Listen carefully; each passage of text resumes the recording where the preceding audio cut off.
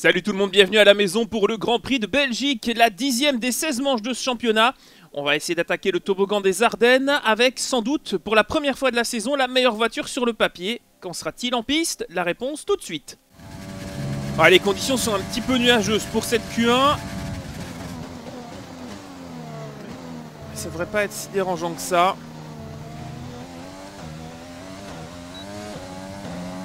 Allez, c'est parti.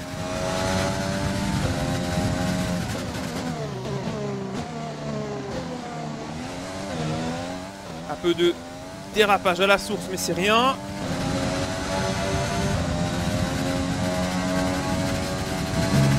Pied à fond, le Rayon, c'est pas un problème avec le setup que j'ai.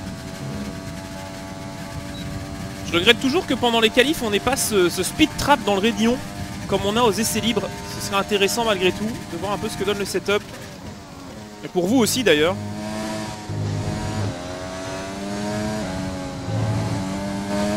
La voiture tient bien dans le deuxième partiel.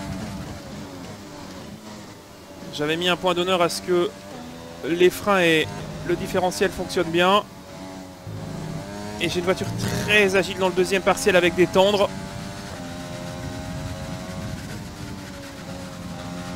parvient même à tourner dans le double gauche assez facilement. Et normalement on devrait avoir les deux nouvelles améliorations aéro pour euh, Monza.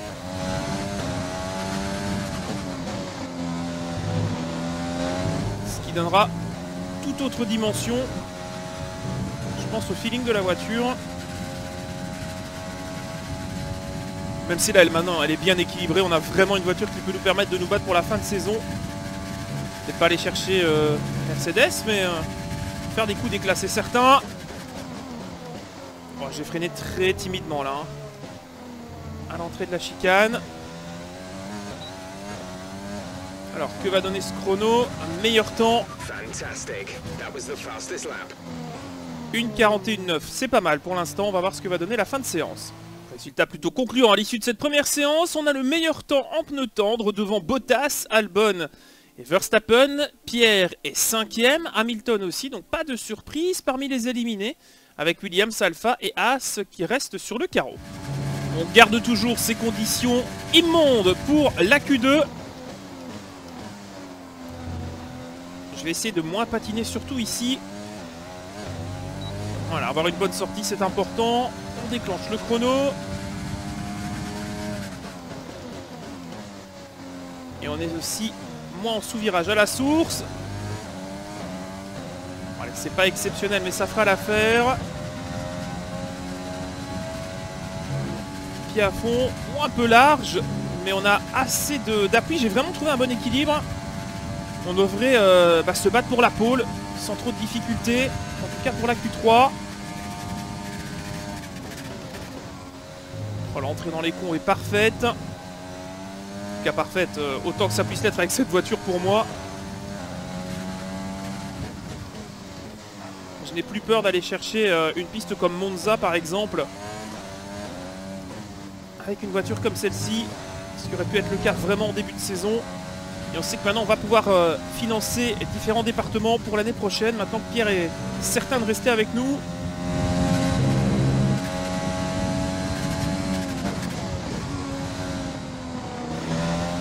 Oh, beaucoup de sous-virages. Là, je me suis vraiment loupé dans le pif-paf.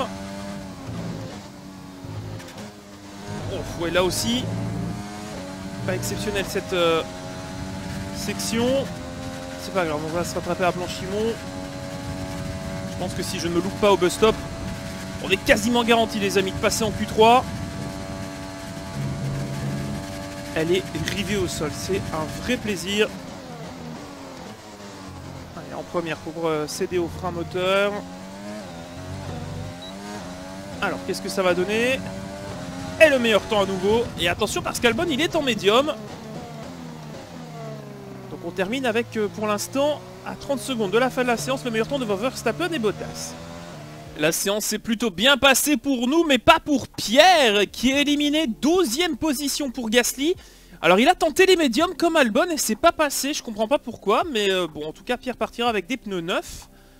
Euh, dommage parce que par rapport à Red Bull, du coup, euh, on ne pourra pas se battre à armes égales. Et déception peut-être avec la deuxième AlphaTauri éliminée aussi in extremis Romain Grosjean. Mais Jack Aitken fait une belle performance. Il est en Q3, c'est une des rares fois on aura, je pense, le Britannique à ce niveau-là. Et bah, Sainz avec une McLaren qui se met à la limite de la dixième place. L'Alpine d'Ocon est de nouveau aux avant-postes. Je pensais qu'on était parti pour une éclaircie, mais non, on va garder les nuages jusqu'au bout. Alors vous savez, il y a parfois des circuits dans lesquels euh, on sait qu'on sera performant. Une fois qu'on met les roues euh, sur le tarmac, moi il y a l'Autriche et Espa. Essayer d'aller chercher cette pole. Ça me paraît pas infaisable. Hamilton qui était à 3 dixièmes.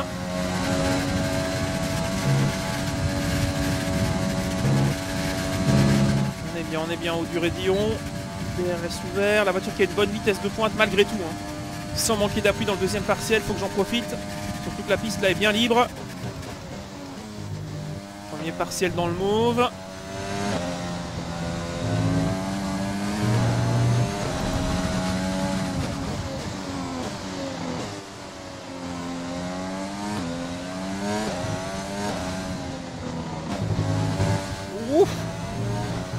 optimiste sur la corde dans le Speaker's Corner.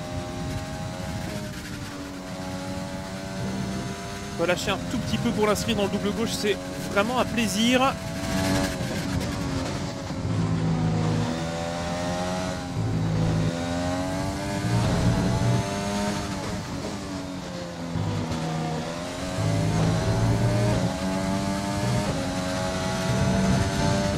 Est vraiment très très bien.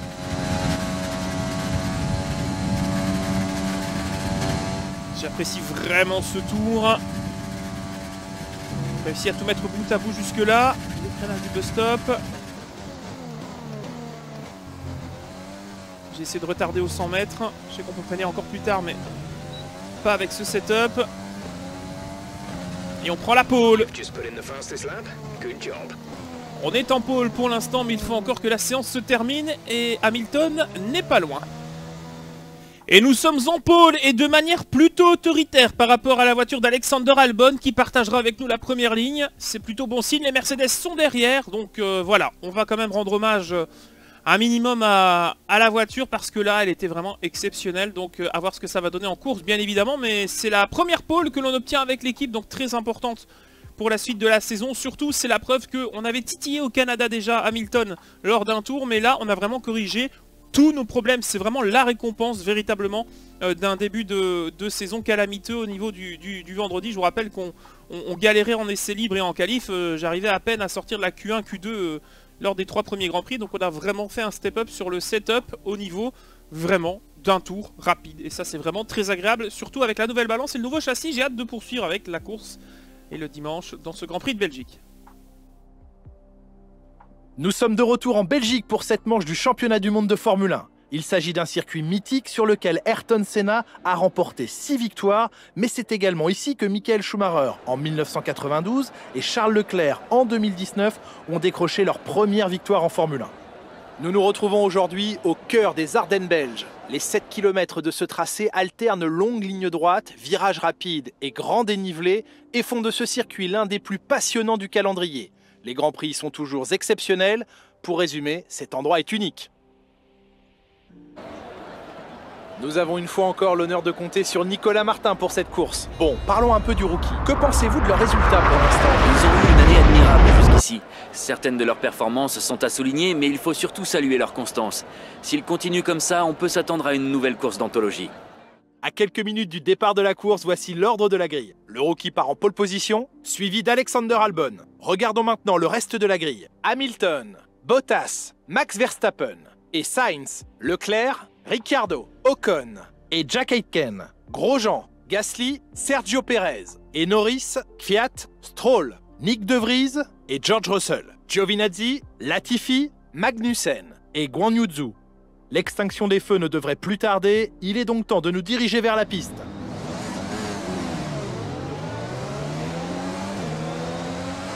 Right, let's get the car up to temperature on this lap. We're learning the gears, so go through them all if you can. Et pour la première fois en trois saisons, on mène le paquet. nous sommes euh, en pôle pour ce Grand Prix de Belgique, un peu particulier pour moi, avec euh, la volonté de, bien faire ici à la maison. Ce serait intéressant de battre Red Bull. Alors malheureusement, on a juste derrière Albon et Verstappen, mais Albon est en médium. Ça, c'est aussi une information importante, c'est-à-dire que si Hamilton ne parvient pas à passer Albon dans les premiers kilomètres, eh bien on va euh, pouvoir profiter peut-être d'une stratégie où les autres seront euh, retenus derrière le Thaïlande. Alors on n'attend pas de pluie euh, selon Jeff à la radio, ça c'est encore une fois la bonne nouvelle, on va avoir des conditions correctes, les pneus sont également en bonne forme, on va être un petit peu au-delà du, du premier stint. Hein. J'ai normalement 7 tours avec ces pneus là, mais le dernier devrait être un petit peu calamiteux. Donc selon la gestion et une potentielle safety car, parce que malgré tout on est à Francorchamps, eh bien on va essayer de, tirer meilleure partie de cette pole position et pourquoi pas aller s'imposer pour la deuxième fois. On avait gagné, vous l'avez vu euh, malheureusement, merci Shadowplay et Nvidia, hein, je vous raconte pas en off ce qu'il faut pour parfois record cette carrière euh, avec euh, les patchs et les mises à jour hein, qui ont lieu tous les mercredis. Le jour où je rentre au studio pour tourner, eh bien le jeu est patché la nuit qui précède, donc je peux remettre parfois tous mes modes et ça me prend une petite soirée dont je me passerai bien. Mais au-delà de ça, on va essayer de, de concrétiser face à Red Bull et surtout de, voir si Pierre peut remonter parce que la suite de la saison et la lutte pour la deuxième place risque d'être intéressante. Je pense pas qu'on aille chercher Mercedes, sincèrement, même si aujourd'hui Pierre fait partie des trois meilleurs pilotes du plateau. On n'a pas les deux voitures pour l'instant capables en développement euh, d'aller chercher les euh, Mercedes. On va resserrer un petit peu euh, tout le monde en cette fin de tour de formation pour ne pas attendre trop longtemps, parce que vous le savez, plus longtemps on attend sur la grille, plus les pneus refroidissent et les freins chauffent. Et donc, tout dépendra d'Albon et de sa volonté à peut-être aller plus loin avec les Steam. Donc on verra ce que va donner ce premier relais en pneu tendre. Il faut bien le gérer et je pense que si safety car il y a dans la première période, eh bien, on pourrait peut-être gagner après le Canada notre deuxième Grand Prix. Ça ferait du bien au moral qui en a bien besoin. On part du côté intérieur, c'est bien, mais c'est la partie sale puisque la trajectoire est déjà sur la partie gauche de la piste. Dans un instant, on va pouvoir se lancer pour ce Grand Prix de Belgique.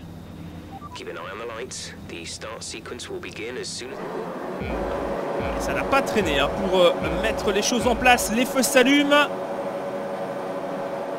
C'est parti. Très mauvais départ d'Albon qui se fait déborder par la Mercedes. Est-ce que Hamilton va pouvoir aller nous chercher? Non. Albon reste devant. C'est bon signe départ comme on l'aurait souhaité, pas d'accrochage derrière. Premier passage dans le rayon de l'eau rouge. Et tout le monde, pour l'instant, s'en sort. Parfait. Et voilà, le départ s'est bien passé. On va pouvoir se calmer dans le deuxième partiel plus sinueux. Ça va être plus délicat de, de dépasser. Et donc Albon qui continue à faire écran par rapport au Mercedes. C'est ce qu'on voulait. Départ parfaitement exécuté. De sous-virage dans l'épingle de Bruxelles. Alors je pense pas qu'on va dominer le Grand Prix, hein. on va pas s'échapper. Malgré tout, on va essayer de, garder Albon au-delà du, du, DRS et ça se joue dans les premiers tours. Les encouragements de Jeff, bien sûr.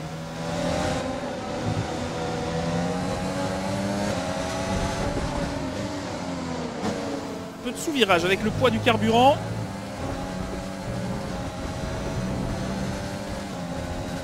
Et on repart tant qu'il n'y a pas de DRS pour euh, s'extirper un peu d'Alexander. Ça, ça s'appelle regarder un peu trop ses rétros.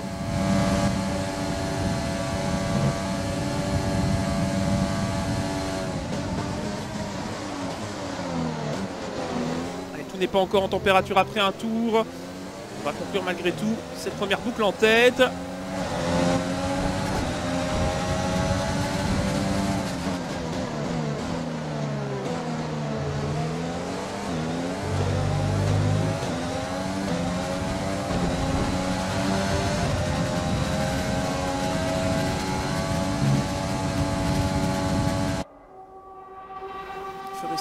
d'Albon et de son aspiration. On a encore un tour pour y parvenir.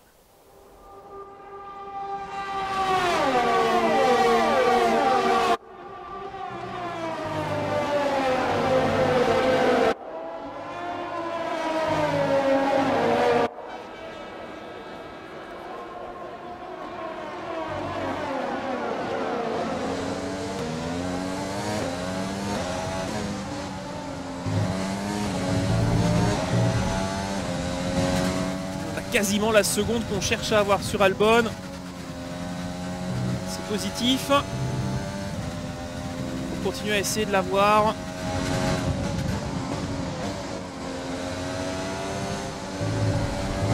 Et surtout avant que les pneus tendres s'écroulent. Parce qu'à un moment ou un autre, il récupérera la tête de la course. C'est inévitable.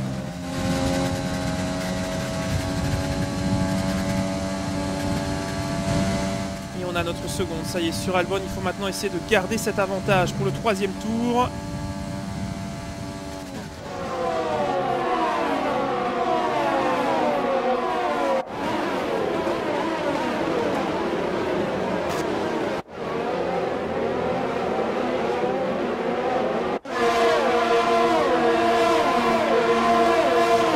Alors qu'on attaque seulement le troisième tour. C'est rare qu'on ait ce message avant. Nous indique qu'on est dans la fenêtre du DRS. Ce qui n'est pas encore le cas pour Albon. On n'en est pas loin. Et on est échappé pour l'instant des griffes de la Red Bull. On gère hein, plutôt bien cette course pour l'instant. Attention, drapeau jaune. Sans doute un souci dans euh, la chicane des combes. Pas d'abandon mentionné. Moins pour l'instant. Non, on continue. Il y a une voiture au ralenti, une Alfa Romeo, semble-t-il en difficulté. Le drapeau jaune nous poursuit. Ça nous a un peu déconcentré. C'est Romain Grosjean qui abandonne.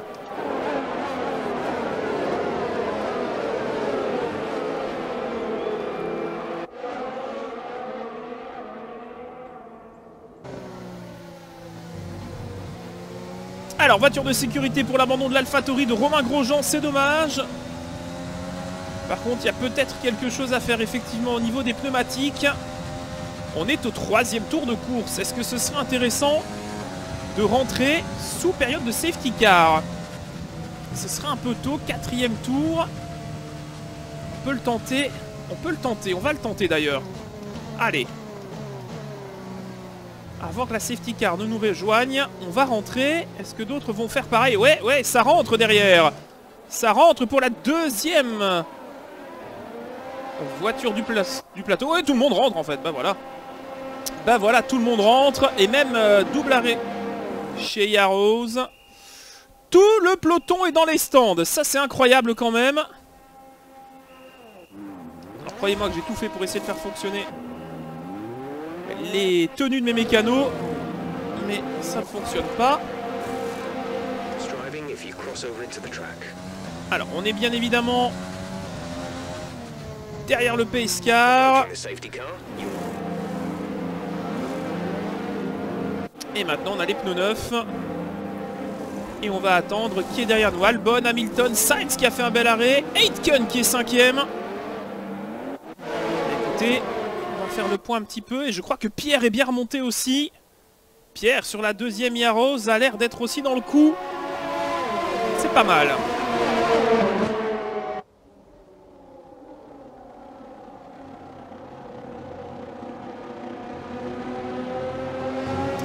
Alors maintenant on est face à un dilemme total dans cette période de safety car.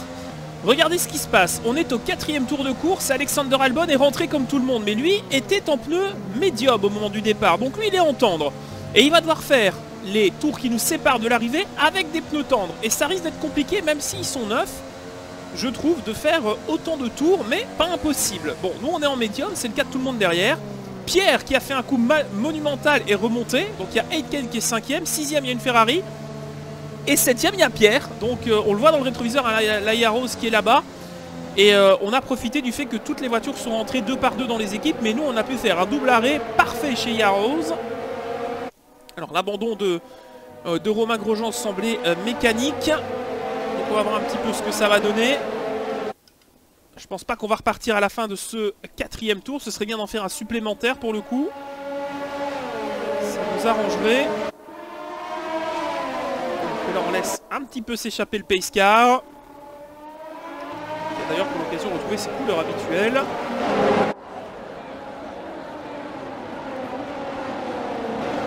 Écoutez, on va faire un tour supplémentaire sous ce régime de voitures de sécurité. L'occasion donc d'économiser un maximum de carburant et surtout d'économiser les gommes qui ne sont pas si usées que ça. Donc euh, c'était la bonne stratégie effectivement. Et la safety car qui va donc s'effacer à la fin de ce cinquième tour de course. On est à mi-parcours avec des pneus médiums du coup en bonne forme. Et on va la laisser filer. Attention à la relance de ce Grand Prix de Belgique.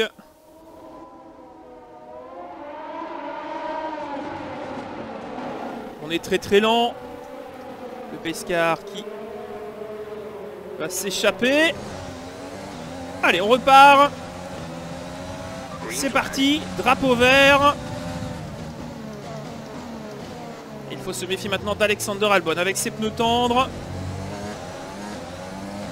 La Red Bull qui va être euh, aux affaires. Oh là là, Albon dans le raidillon Oh, il n'a pas le temps. Hein. Quelle menace d'Alexander Albon dans la montée. Va se décaler. Et on lui laisse la tête du Grand Prix.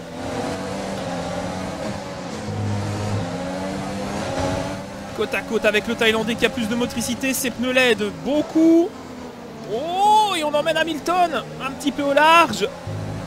La McLaren de Sainz qui prend donc la troisième place dans le virage de Bruxelles. Albon qui est incroyable avec ses pneus tendres. Ouais, nous on a un petit problème d'équilibre alors que c'est chaud derrière entre Hamilton et la McLaren. il repasse devant Sainz, Lewis.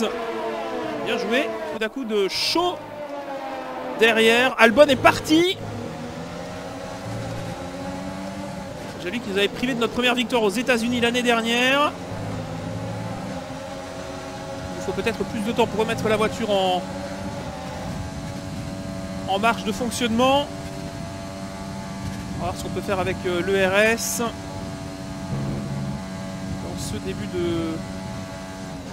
de, de deuxième moitié de course. Albon qui est donc le nouveau leader de ce Grand Prix de Belgique avec une Red Bull très rapide.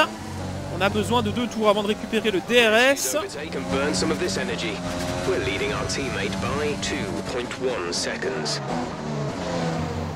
Et deux secondes une d'écart avec Pierre. N'est pas loin. Albon il est en train de filer à une vitesse avec ses tendres là. Il est aussi à l'aise que nous en premier relais finalement. Est-ce que les pneus vont aller au bout? Par contre on est très très vite en vitesse de pointe, il n'y a rien à faire. Le moteur là il est dans une forme olympique. Regardez, on revient déjà sur Alexander Albon. Le temps de l'avoir laissé filer. Vous avoue que j'aimerais bien le gagner ce Grand Prix de Belgique.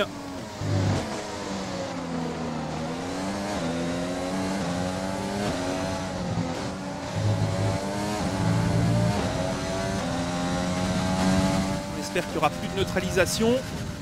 Sinon c'est course gagnée pour Albon. En attendant là on peut essayer de refaire quelque chose avec les gommes mais si jamais il peut encore les économiser c'est fini.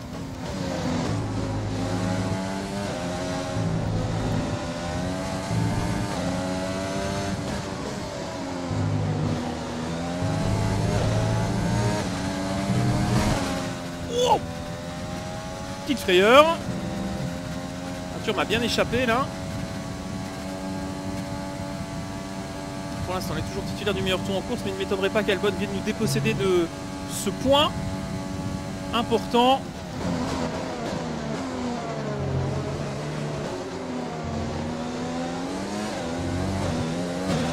Alors on va avoir le DRS, et voilà, meilleur tour pour Albon, c'était couru d'avance.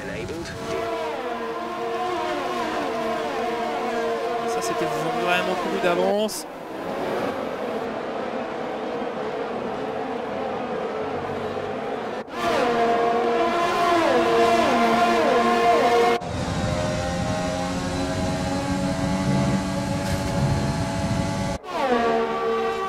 de pointe, ce qu'on lui remet à Albon. Économiser un peu trop aussi au niveau du carburant.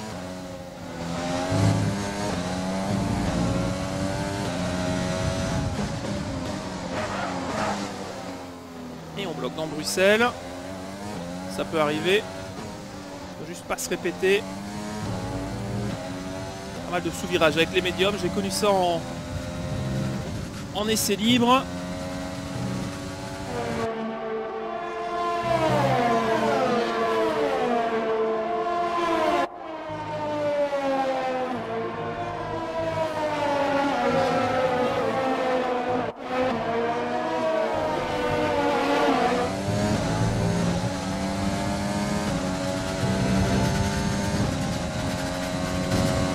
Que j'attende mon heure, mais là avec Albon, euh, ça commence à être long. Ça commence à être difficile. «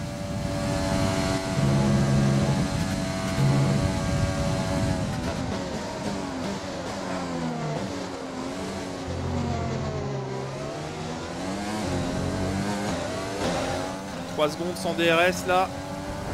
À moins d'un miracle pour les pneus. Va aller gagner ce Grand Prix, le pilote thaïlandais. Ça fait double mauvaise nouvelle. Avec les points qu'il va prendre. On va pas récupérer par rapport à Red Bull. Après, je vois qu'Aitken est en train aussi de bouchonner derrière.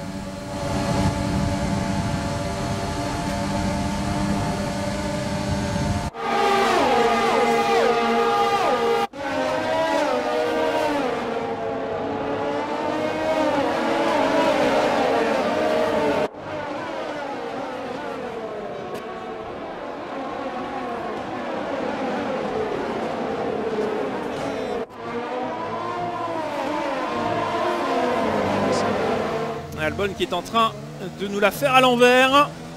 Il va aller gagner le Grand Prix. Il ne pourra pas faire autrement.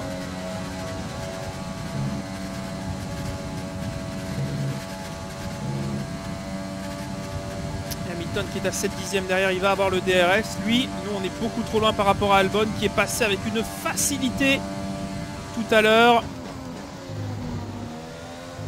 En plus maintenant les nuages s'en mêlent.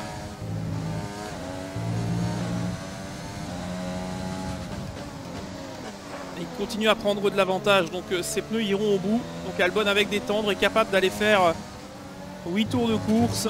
Impressionnant.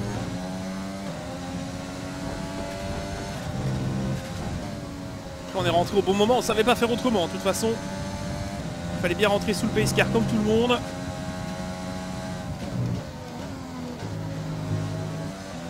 Trop de carburant économisé aussi. Voiture un peu trop lourde. Tient Hamilton, on tient les, pilotes qui avaient la, la même stratégie que nous. Pour le reste, c'est bien plus compliqué. Albon qui va maintenant avoir quasiment 5 secondes d'avance. Moi d'une casse du moteur Honda, on peut plus rien espérer là de, de la part du leader. Et dernier tour pour Albon qui insiste, une 42-0. Quasiment une seconde moins vite au tour. Hein. Quasiment une seconde moins vite par tour. Nouveau record du tour pour le Thaïlandais qui va donc mettre 25, 26 points même. Très important dans notre lutte par rapport à, Red Bull. On va en claquer 18. Et visiblement euh, 8 points supplémentaires pour Pierre qui serait passé en sixième place. Ce serait bien pour lui. En tout cas, un Grand Prix de Belgique. On n'a qu'un seul regret, c'est de ne pas avoir remporté la course. Pour le reste, on a dominé les séances qualificatives. C'est bien la preuve qu'une voiture peut pas être bonne et en qualif et en course pour l'instant. On a encore du travail. hein. Il faut vraiment développer ce châssis pour pouvoir tenir avec les gommes sur le long terme. Mais bon, la safety car était contre, euh, contre nous cette fois. Allez, on n'a plus de RS. C'était volontaire hein, de le finir, comme ça c'est fait. Pas de regret, de toute façon Albon est à plus de 5 secondes, donc vraiment impossible d'aller chercher le Thaïlandais. Ce deuxième relais, il est incroyable et on a effectivement eu un premier relais incroyable. La voiture fonctionnait beaucoup mieux en pneus tendres, mais la safety car est arrivée au mauvais moment. On n'a pas pu en profiter. J'avais lu un commentaire il y a quelques temps sur euh, l'un des derniers Grands Prix que bah, c'est facile avec la safety car, il n'y a qu'à attendre et hop, on remonte dans le classement. Et eh bien Albon en a bien profité et il va concrétiser en s'imposant aujourd'hui dans ce Grand Prix de Belgique. Victoire euh, d'Alexander Albon. Quant à nous, eh bien, on va terminer euh, deuxième devant Hamilton, Sainz et Jack Aitken. Belle performance pour l'équipe malgré.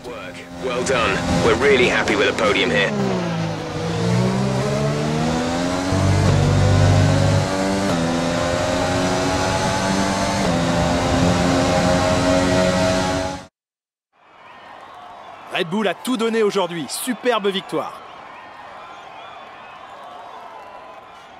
Nicolas Martin, quelle victoire écrasante aujourd'hui. Qu'est-ce qui lui a permis de faire la différence? Je pense que l'intervention de la voiture de sécurité a tout chamboulé. Ils ont su garder la tête froide et s'adapter rapidement à la situation. Par le passé, nous avons vu de nombreuses équipes laisser filer la victoire à cause de leurs hésitations, mais là, ils ne se sont pas posés de questions et ont réussi à s'imposer. Red Bull s'est battu avec acharnement pour s'imposer aujourd'hui et nous sommes contents de voir que leurs efforts sont enfin récompensés. Il faut dire que l'équipe autrichienne apporte beaucoup à ce sport et on ne peut s'empêcher de partager leur joie.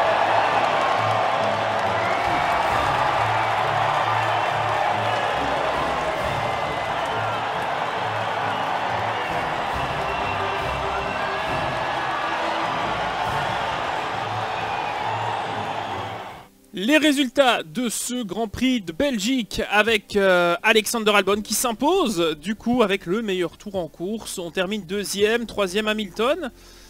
Pierre remonte sixième quand même de la douzième place, c'est une belle performance. Norris aussi remonte, donc euh, voilà, pour les euh, bonnes performances du jour. Giovinazzi, driver of the day, ouais, bof. Pas trop d'accord avec ça pour le coup. Hamilton reprend l'avantage, un point quand même devant Verstappen. On est troisième quand même 22 points. C'est pas impossible quand même de faire quelque chose à la fin de la saison. Hein. Faut pas se le cacher non plus. Surtout vu euh, la, bonne forme de la voiture et que pour l'instant, bah, c'est plutôt les Red Bull qui dominent, même si Hamilton reprend l'avantage par rapport à Verstappen. Pierre garde sa cinquième place. Derrière, Sainz reprend l'avantage sur Perez et Gviat. Au classement euh, constructeur, 33 points désormais. C'est pas mal hein, quand même l'écart de 50 points. Et Red Bull nous repasse devant évidemment avec la victoire d'Albon et, la bonne performance de Verstappen. Donc euh, oui, McLaren remonte aussi devant Alpine. Hein. C'est très serré. Regardez le midfield, on est entre 56 et 45 entre la 4 et 8ème position. Donc assez intéressant tout ça. Euh, pour le reste, eh bien, euh, la suite de la saison s'annonce très intéressante, surtout la partie hors Europe. Alors au niveau de la R&D, plus grand chose de possible en termes d'amélioration, si ce n'est peut-être la fiabilité de certains éléments. Donc on va profiter d'avoir un petit peu de budget pour développer ça mais je pense pas qu'on ait euh, assez pour développer autre chose. Non, tout coûte 1900 désormais. Donc petite amélioration à ce niveau-là. On attend que eh bien, les, départements continuent d'évoluer pour pouvoir euh, eh bien, développer un peu plus la voiture. On accélère jusqu'au Grand Prix d'Italie. Petite soirée de célébration du podium tout de même. Et il est important de faire fonctionner le, le moral de l'équipe. Alors au niveau de la R&D du coup, on a bien amélioré ce qui manquait et on est maintenant toujours à peu de choses près sur le papier la meilleure voiture face à Mercedes et à Red Bull. Voilà pour la situation. On se donne rendez-vous au prochain Grand Prix, la 11e des 16 manches. Ce sera à Monza en Italie où on pourra faire parler la puissance du moteur Honda. Je pense qu'avec un setup adapté, on peut être tout aussi dangereux qu'en Belgique en espérant que cette fois-ci, Albon ne nous coupe pas l'herbe sous pied. Merci beaucoup d'avoir suivi ce particulier euh, Grand Prix euh, de Belgique. Je vous donne rendez-vous très vite pour la suite avec, euh, je l'espère, plus de réussite et pourquoi pas la victoire dans le temple de la vitesse. A la prochaine les amis, salut